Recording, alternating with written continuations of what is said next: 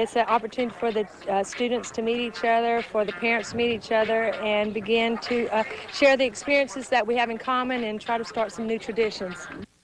Classes begin August 13th. In Gulfport, some racers got revved up for the Big Maxxis Mississippi Dirt Series in Gulfport. From five years old to adults, the go-kart racers put the pedal to the metal as they ran a few practice loops around the track for tonight's big race. We took a trip to the Gulfport Motorsports Park to catch the racers lighting up the track.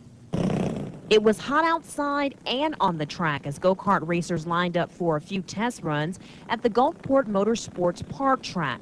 With this eye-catching spiked helmet, eight-year-old Daniel Fox doesn't mind sharing how his dad told him to drive on the track. Drive it like you stole it. Fox says he knows exactly what keeps him suited up and ready to race. winning. Herquest is a great He's only 10 years old. Herquest says there's some perks to being a champion.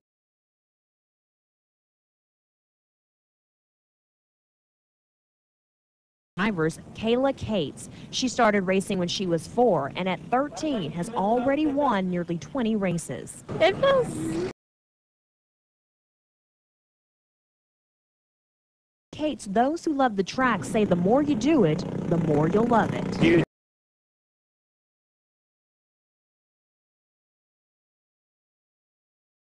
Family affair for five. Daniel and his son team up with Daniel's brother Scott and his two sons to race. But it's not